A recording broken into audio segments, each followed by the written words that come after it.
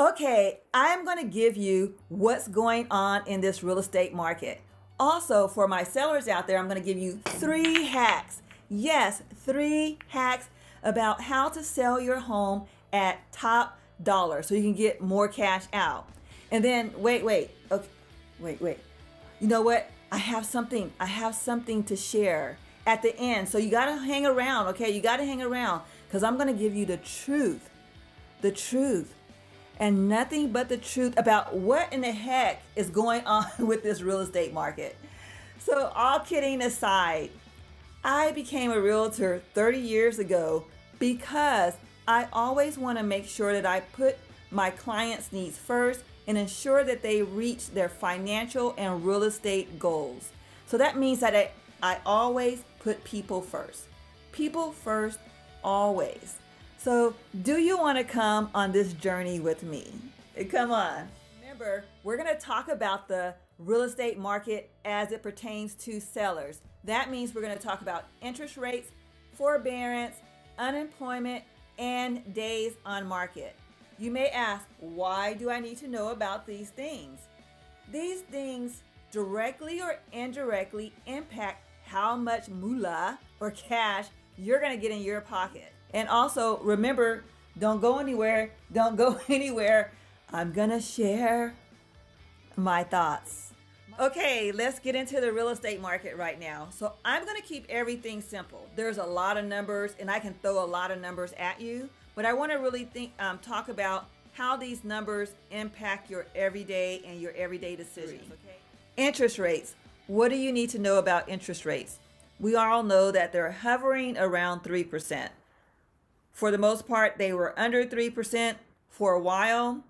Um, then they kind of bumped up over the last week. So now they're right around 3%. So, what does this mean for the seller? This means for a seller that there's going to be a plethora. Plethora is, wait a minute, I don't even know if that's the right word. But anyway, there's going to be a lot of buyers bidding on your home. So, right now we're getting 10, 20 bids on a home. That is not normal, but it is kind of the new normal for right now. It's going to change, believe me.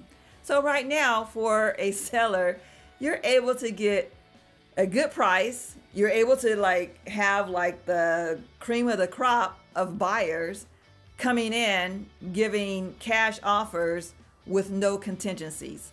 So, it's a perfect storm right now. So, if you want to sell your home, okay, it's it's it's kind of right the right time right now. But uh, that's that's only me. That's only me. Okay, so forbearance. What is forbearance? So forbearance is a temporary either reduction or pause of your mortgage payment if you meet the qualifications under the government code.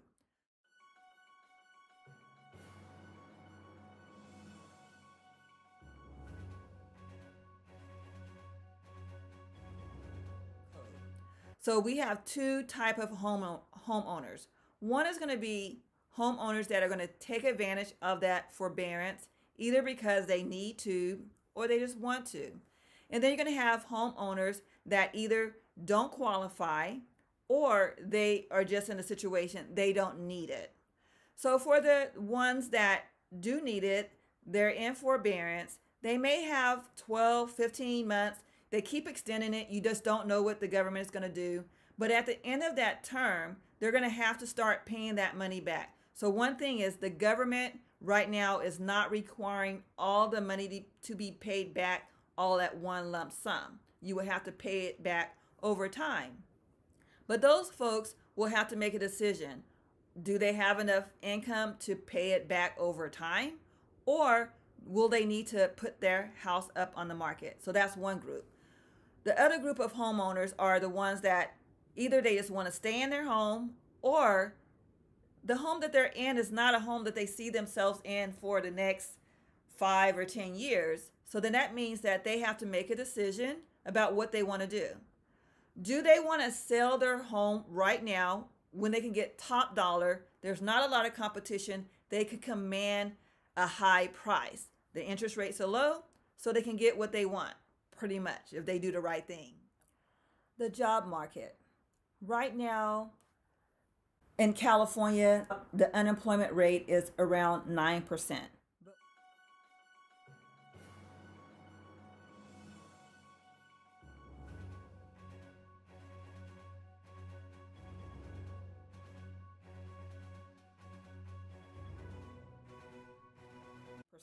But we all know that even the economists and the professionals out there that deal in these numbers know that that number that number is probably somewhere in the double digits because people have just kind of dropped out of the system.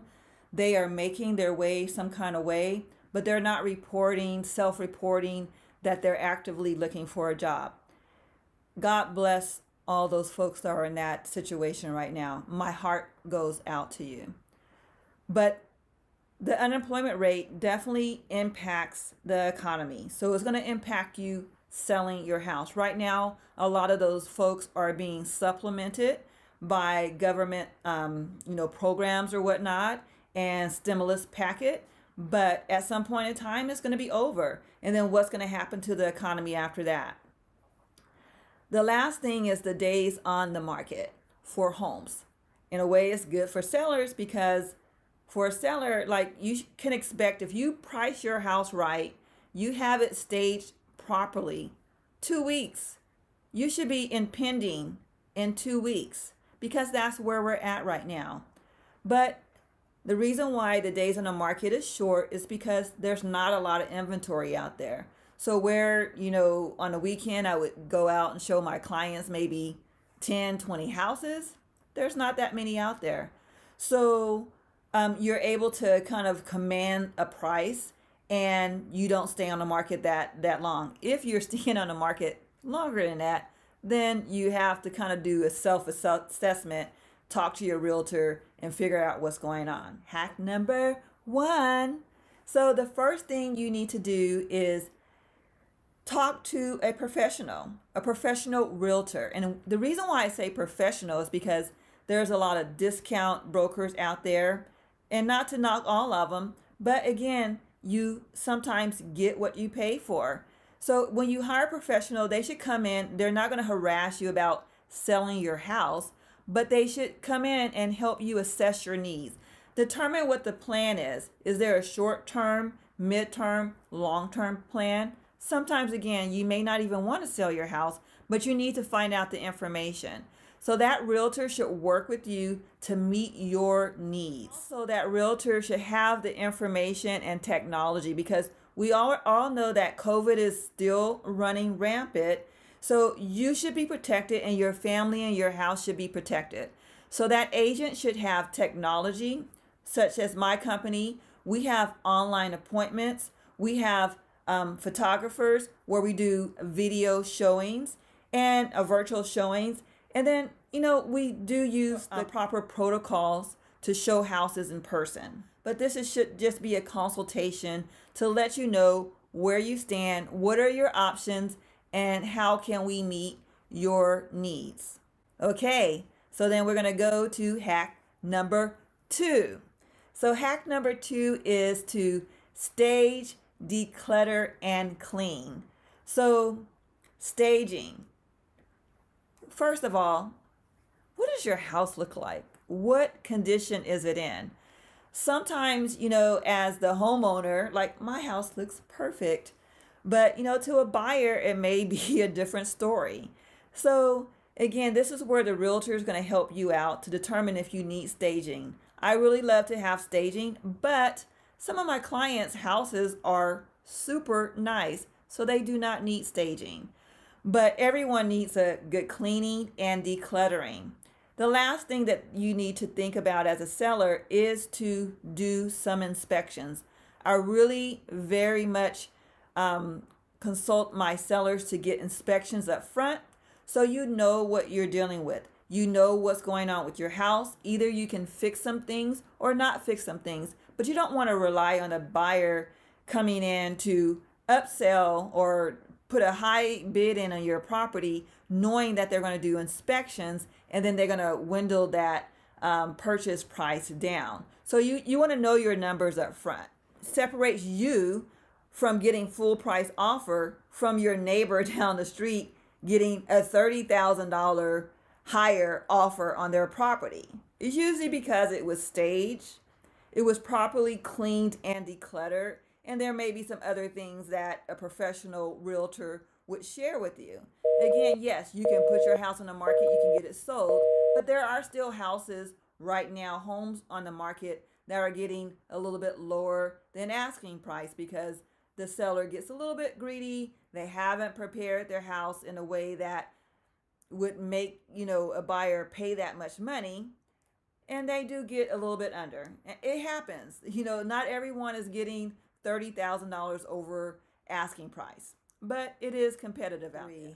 Hack number three, we're almost done. Okay, bridging the current house to the new house. What do you do? Where are you going to live?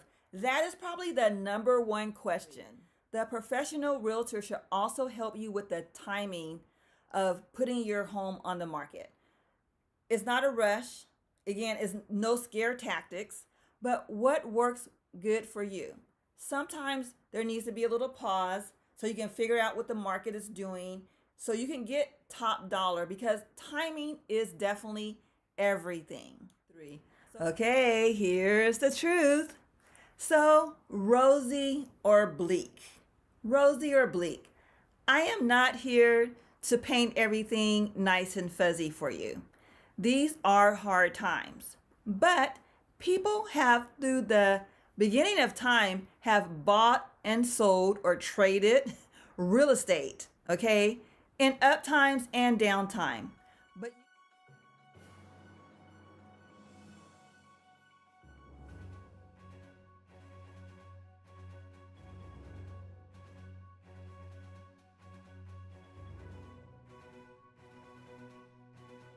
But you have to know when the right time is for you. You also have to, as a buyer, be patient. Your time is coming. It is coming. But you need to know your numbers. You need to make sure that you talk to a professional. Contact me. I have great real estate um, mortgage brokers that I work with. And you need to get prepared because you have to be ready when your time is here. So, whether it be this year or next year, you just have to be ready. So, for the sellers out there, the same thing. The market is going to go up and down. Right now, it is up. So, then that means that do you want to sell your house at top dollar and get the proceeds to buy that next house that you're really looking at buying? If you are not prepared to stay in your house for the next five to 10 years, then you probably need to get ready to sell. Because what's going to happen if you stay in the house and then the market goes down, which it will do at some point in time, and then you're going to be stuck there or have to sell lower for a few years. So you don't want that. So you have to look at the vision for your family, yourself, your family, if you're individual or family, and decide do I want to be here for the next five years? If you don't, then you need to prepare to sell. That's just my um, truth. it may or may not be your truth. But again, I'm always going to tell it like it is. I'm going to keep it straightforward. And I always want to go with your goal. So if you say, hey, Suzette, I'm not ready to do anything right now, then I'm not going to push you. And that's just the way it is. Because you remember, I said, people always first. People, people, people. And that's what I do. So I work with you. I just tell you what my thoughts are, what my predictions are. Predictions are. Everyone has um, their predictions right now. You never know. I'm going to put all the numbers in my in the um, show notes so you can take a look yourself. Please subscribe to my channel. Contact me at Premier Diamond Realty, Suzette Loggins. All my information is below.